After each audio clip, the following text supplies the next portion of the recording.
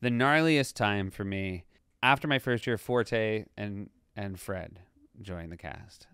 I mean, two of the most unique comedy voices of the last twenty years. Because there were things that were happening at SNL before This they is showed 06? up. No, still we're talking 02 Okay. they show up. There's that thing of I'm looking around and I'm sort of watching what everybody's doing and I'm thinking I can get there, you know, not throwing any shade on anybody that was happening, but I felt like again it was all the versions of the sketch comedy I'd grown up for. A year before I was watching SNL, I got it. Now I'm on SNL, I'm seeing it up close. Jimmy and Tracy have moves. Will like comedy, fun, Yeah. fucking hilarious dudes, funny uh, with moves. Will Ferrell, kind of outer space. You, Outer- you, don't can't even get think, there, right? You and can't nor get do you. there. Uh, Yeah. Never in my, I never thought, okay, that's next. Yeah. And then and then step. Tina and Amy, hilarious moves, like fairly linear. anybody who comes out of Chicago, you sort of feel like, you know, because again, that was. So I'd seen Tina and Amy, I'd seen their growth because I used Yep. to see them on stage, and I'm like, okay, so growth will happen for me too. But then Forte and Fred show up, and Both from outer space. Both from outer space, bag of tricks you've never seen before.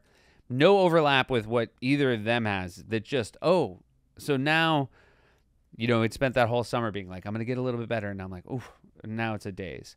Then there's like, uh, you know, and so then I kind of, uh, you know, get through that and and they kind of find their space and I have mine. But then now this other thing happened, which is Andy, Bill, and pretty soon after uh, Sudeikis, Sudeikis, who had been a writer. who had been a writer. He joins the cast a little bit, if my timeline's right, a little bit after Bill and Andy, or maybe at the same time. But uh, they're, I think they maybe are all at the same time. So now there's like five guys, and I'm writing at the time as well.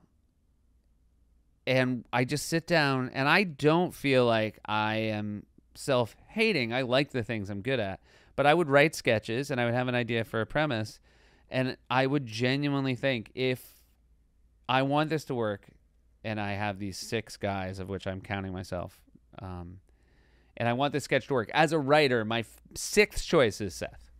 You know, if I'm Seth, and I'm gen like, and I'm not like. No, I don't. I mean, I don't. I don't think anyone would disagree with you. Yeah, I mean, I you would say if it's if it's a fail-safe joke where someone has to say the word without stumbling, Seth can do it. But every Right. one of them brings these other layers, which Yeah. is what any sketch writer, any writer anywhere wants. Which is, I think I wrote this great thing, but now I want to bring in a performer who is going to make it great in seven different granular ways that is going to somehow make that I can't predict and I can't, Can't write predict, it. And, yeah, I and mean- also just like with some of them, it's just Andy's charisma, Bill's charisma, Yeah.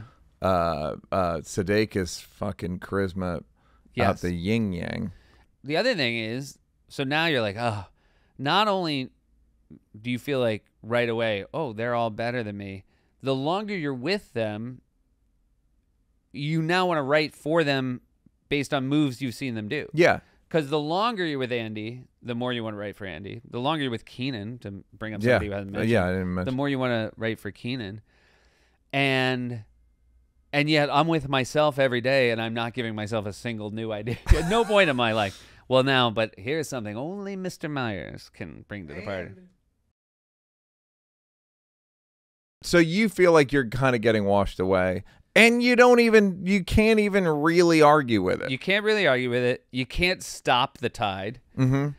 The uh, solution at the time would be a some negative for the franchise, which is things would be going better for me if all of them were worse. You know what I mean? Like the right, only you don't, way and, right, because you like them all. I, I like them all. I At like least when the like show's good. I mostly love them all. No, they're all family. yeah. I mean, everybody we've talked about, you included, we're at my Oh. wedding. These are people, you know what I mean? And and uh and I'm glad they were. And they I love them. They are uh I mean, not to get Vin Diesel on you, but they were like family, more than friends at some point because you just spend so much time together Yeah. at SNL. And then I hated myself for competing with them and- or or and- whatever. yeah, it's just like the, jealousy. unfortunate. I yeah, hated, I hated that when they would crush, it was impossible to remove that piece of me that was saying, "Ugh, well, there's another strike against me, even though Yeah. it wasn't a strike against me. Except, of course, it was, right? There is a calculus at the end of every season of SNL where the decision makers say, you know, what do we need? Hey, did you like that? Did you like that? Yeah, did you like it though? You want more? Don't want to work? Would rather watch videos of me grab assing with people? First of all, go up here to subscribe, and then go up here to uh, watch more clips.